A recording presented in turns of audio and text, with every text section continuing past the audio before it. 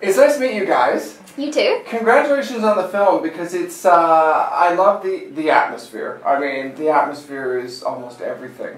What's it like starring in, in a film with this kind of atmosphere? Does it affect your performance? How how does it affect affect your performance? Um, well, the house, I think, affected our performance in a great way because we were actually filming in a haunted house, which is really helpful. Yes. Um, the floorboards actually creak. Uh, everything is really dusty. It's very dark, so it's a little bit creepy, and that really helps. Um, but I think we kept it quite light when we weren't filming, so that it wasn't a really kind of depressing experience, because otherwise it would be very dark. Right. So we had a lot of fun, both on and off set. Yeah, yeah, Well, I did. anyway. yeah. And I think uh, I think visually, uh, it's so sort of eerie and haunting due to Richie's amazing camera work Right. um, and the lighting. I think that was something that they took real care and attention over, and that really shows on screen. Um, and I think that sort of sells that atmosphere. It's also nice when you can tell that a film has been shot properly and there's not, not a lot of work done afterwards to make it, you know, Yeah. right? So the cinematography is obviously especially important, I think, for the mood of this film. Did you, what did you go in expecting? Did you have anything in terms of playing the characters that you, you kind of went in uh, trying to aim for? I think film wise, um, horror, particularly gothic horror, is a genre that I wasn't very familiar with. Um, and what sort of little I did know was very visual based. Um, and in the film, we do sort of have quite a few of those gothic tropes, which is really lovely. Um, and I think fans of the genre will will get that. Um, but other than that, it's a kind of personal preparation. It was a lot just to do with the script, really Mm. because it's all there. Right. Particularly for my character who doesn't have any life outside at all from the house. So it was just that environment and the story that you had to focus on, which in a way made it a bit easier, but also kind of only gave you one Right. one thing to focus on. Right. Yeah.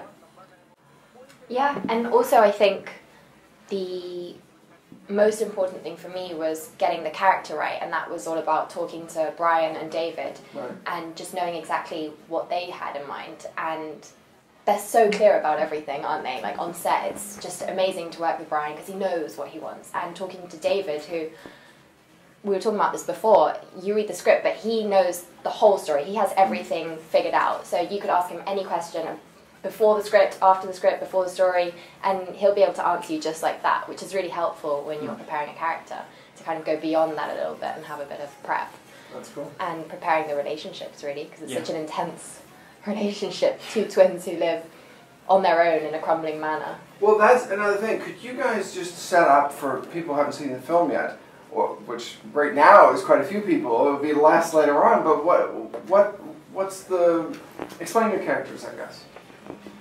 Um, it's essentially a story about uh, a brother and sister. They're twins, and they uh, are. There are rules. There's a curse that ties them to this house, um, and those rules are: have to be in bed by twelve. You can't let a stranger through your door. Uh, you can't leave each other, and you can't leave the house permanently. Um, and yeah, it's basically the story of, hostile environment in which they live and uh, their their relationship, and eventually um, Charlotte's character Rachel has to kind of make a decision. There's that the opening rhyme. I think is, is quite creepy. It sets the tone quite Yeah. well. Did, did you learn it off by heart? Did you? we, we had to do a bit of a singing prep, Yeah. and neither of us are singers, I don't think. But so uh, that was David, the writer, Daunting. actually wrote that. he did. Uh, Yeah. he, well, obviously he wrote the words, but he Right. also wrote the, the music. That's the, the amazing. tune to that, It's like there's nothing he can't which do. is there is no. um, That's rare. I mean, that's pretty Yeah. rare to have someone who can do both. there's a really particular tune. It's not. No. You hear it the first so time round and you think it's a nursery rhyme, yeah. but really there are these there are these kind of weird rhythms and, and kind of tones to it, Mhm. which does again lend to that. It's a bit like that. Yeah, it does duh, almost duh, like duh. And it, it's it's really creepy. I mean that that tune. I mean it, it sets a perfect tone. In terms of you know, working with the director, tell us, you know, what was what was what was the overall experience like? What what did you take away?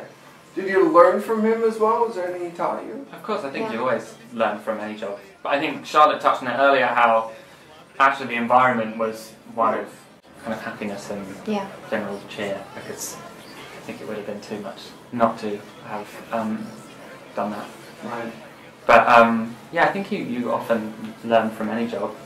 Um, not from anything, not often anything in particular, but you know, um, you pick up on things you do and the way you work, but also the way that others tend to work and um, what suits best for certain environments. Films change, you know, with so many different uh, kind of variables. Uh, that no job is the same, so as much as you can learn it, you have to kind of reassess Right. and work out what's best for this set. So I think on this one we found the perfect kind of combination. Cool. Yeah. Uh, what comes next for you both? Um, what does come next? I just shot a film in uh, Wales called uh, Apostle, which is directed by Gareth Evans, who directed Cool. The Raid and The Raid 2. Yeah. Um, and that was uh, Netflix original, so Mhm. I think we can expect that on Netflix sometime early next year. Cool. But I'm not entirely sure. But yes. Nice. And I have a really small role in American Assassin. Oh, cool. Yeah, okay, so- which just just came out. It's well, we're going to the premiere in tight. LA on Tuesday. So Cool. and we're going together, so that'll okay, be fun. yes, next week, right? Yeah, Awesome. they have a few screenings, and we're going to the one in LA. awesome. That'll be really fun. Well, congratulations. Thank you. Thank you guys very much. Thank you so much.